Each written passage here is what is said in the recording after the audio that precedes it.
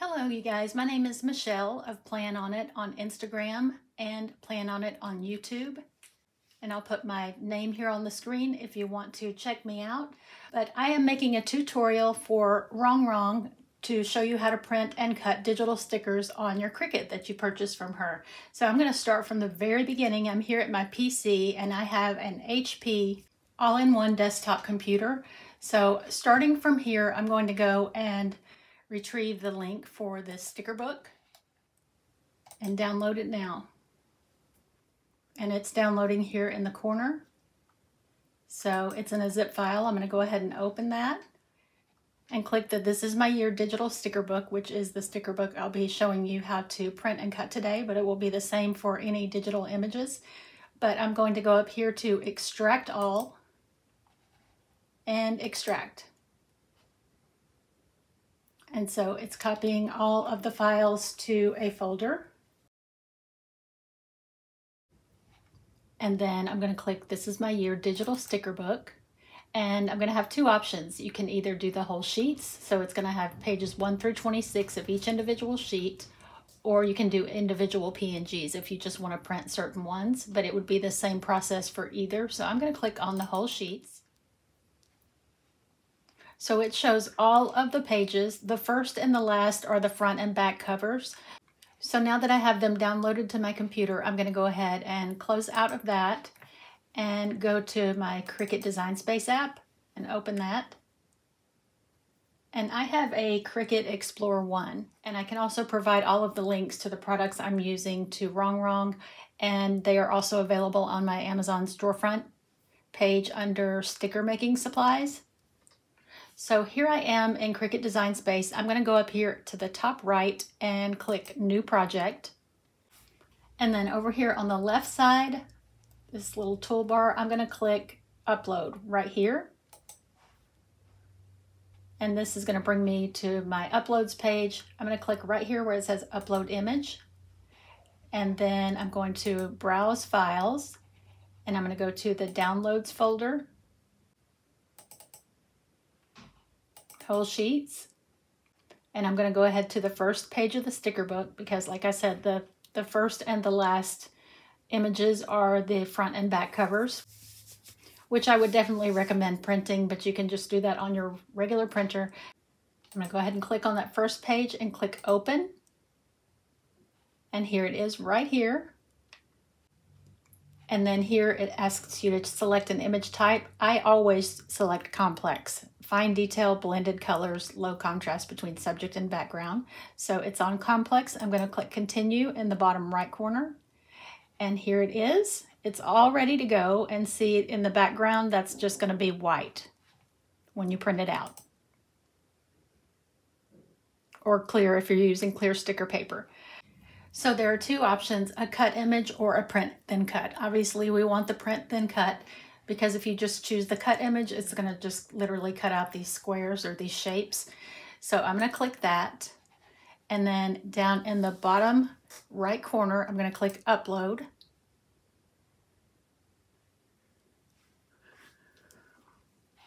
And so there it is in my uploaded images. So I'm gonna go ahead and upload the next page. And to make it easier, I'm gonna scoot this over like this, where it's just taking up half of my screen because I saved the sticker book here on my desktop. So I'm gonna go ahead and open that and move it over to the other side here. All right, so I can just drag them over. So we already have the first one done. Now I'm gonna take the number three and go through those same steps, complex, and then continue. This is where you could remove a background, but it's already done for you. So all you have to do is click apply and continue again, and then select the print then cut image and upload. So there are our first two pages.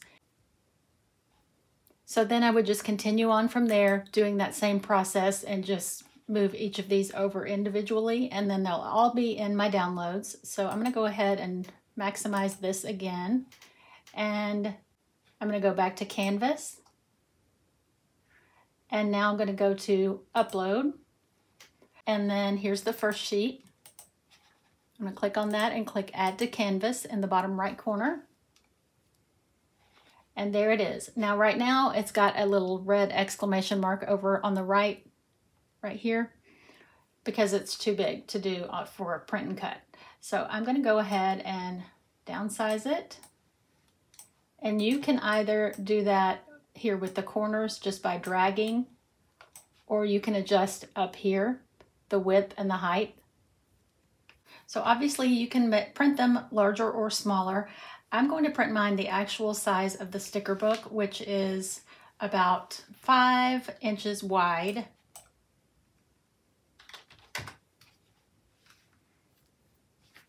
All right, so it's ready to go. That's the size I want it. I'm gonna go ahead and click Make It in the top right.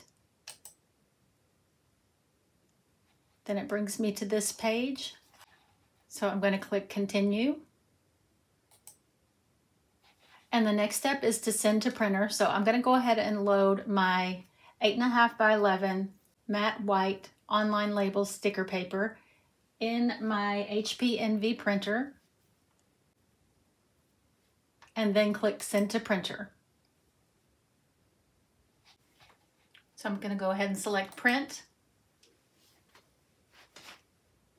All right, so it's all printed out. And then I'm going to set my dial to paper.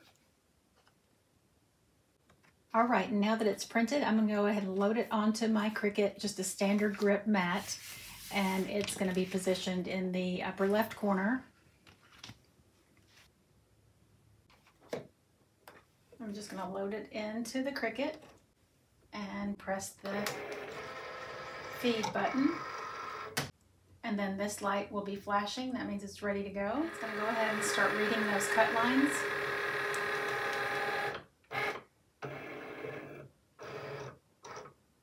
now it's going to go ahead and start cutting and it just knows exactly where to cut.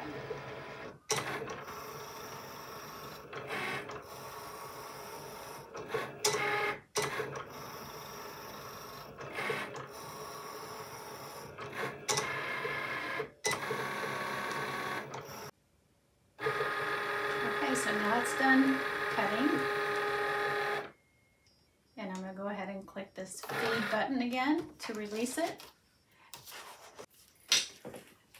And then from there, we're just gonna click done and move on to our next sheet.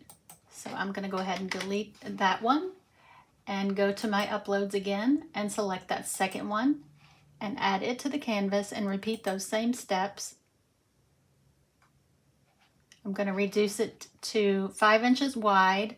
This little lock button is, it's unlocked if you lock it then it will automatically adjust the width and the height accordingly. So I'm just gonna make it five inches wide and it'll be the same size as the previous one and I'll print all the pages like that. So now that I have that done, I can go ahead and click make it and then continue, send to printer, and then print. And then we would repeat those same steps until we got to, I would use paper for all of the, like the boxes and things like this. So I'm gonna delete this one. And then let's go back to upload. All right, and so I'm gonna go to one of the pages that I would print on clear, like this one, or any of the quotes. It's completely up to you whether you would wanna print them on clear or paper, but I'm gonna go ahead and drag this one over and go through those same steps. I'm going to click complex, continue, apply and continue, and then the print then cut, and upload. Okay, so I'll go ahead and close that out. So this one would be a good example of something that I would want in clear because in the actual sticker book it's printed on clear paper. And then I would go ahead and lock this so I can change the width to five inches so it will be all the same. And then I can print and cut this one the same way. I would just load matte clear sticker paper into my printer instead of the paper and repeat those same steps. I'll go to make it continue, send to printer, and I would still have my setting on paper and then print. So I'll meet you over at the desk and show you how the stickers came out. And I have an actual, this is my year sticker book here. So I'm gonna trim, trim it down to about that size. This is if you did want to make an actual book. Of course, you can obviously just peel your stickers up and use them from these sheets. But if I was going to make an actual book, I would go ahead and trim it down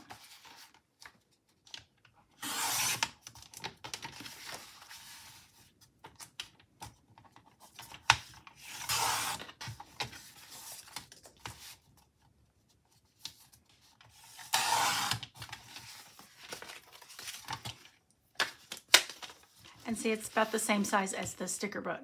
Now, if you wanted to print the cover, what I would do is just print it on some cardstock. So I just have some regular cardstock. And then I'm gonna show you on my phone how you can change the dimensions of something using the print to size app if you wanted to print the exact cover, the front and the back. So I'm gonna open the print to size app and then click the plus and then choose that photo.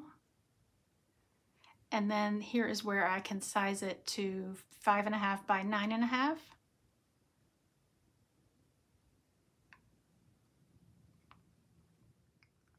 All right, so I'm gonna go ahead and just print that like that on some cardstock. So I'm gonna click print and I have my HP Envy photo printer connected to it via Bluetooth and then click print. And so I have my cover printed. I'm just gonna go ahead and cut that down to size also. Now, if you wanted to save a little room at the top, you could and put it together with a binder ring instead of cutting that off. So I could have just left the top on this too, but in this case, just to show you, put this sticker paper back with it. Or you could punch it and put it on discs. So after I got all my pages printed, I would just go ahead and punch them at the top with a just a regular hole punch. And then I have just some binder rings. I got these on Amazon. These are about three quarters of an inch. And then I would just put it all together. So if you wanted to have an actual sticker book and flip through it like that. But that's basically it. Just follow those simple steps for each individual page, or you could also do the same for the individual images if you wanted certain images more, if you wanted to print more of a certain image. And that's it. Just follow those simple steps each time. I hope this helps. Bye.